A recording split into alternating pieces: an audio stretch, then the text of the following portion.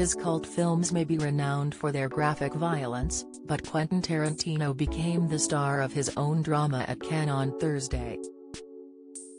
We can reveal the Pulp Fiction creator almost got into a tussle at the exclusive Carlton Cannes Hotel after trying to take another man's seat in the lobby bar.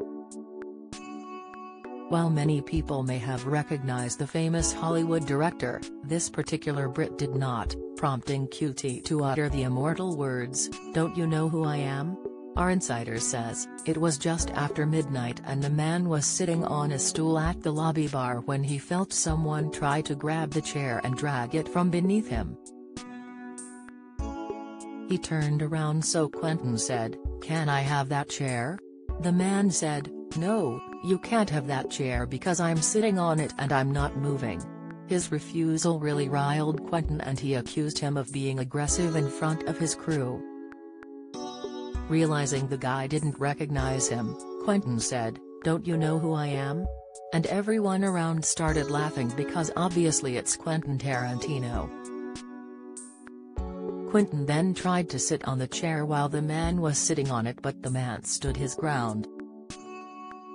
The U.S. movie Maestro, whose 172 awards include two Oscars, only backed down after onlookers started paying attention to the commotion.